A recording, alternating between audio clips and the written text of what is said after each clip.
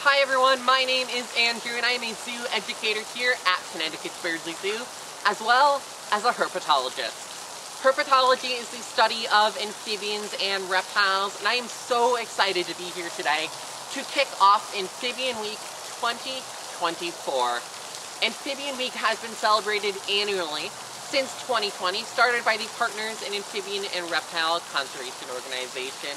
And the zoo is so excited this year to be joining in on Amphibian Week. So what can you expect this week? Well, definitely check out social media for some really cool videos, some blogs about caring for animals here at the zoo, as well as a chance to share your favorite photos of amphibians and reptiles with the zoo.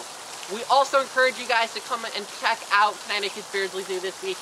Visit our amazing amphibians, and we are so excited again to kick off Amphibian Week 2024 Extreme Athletes. We hope to see you here at the zoo this week, everyone. Thank you.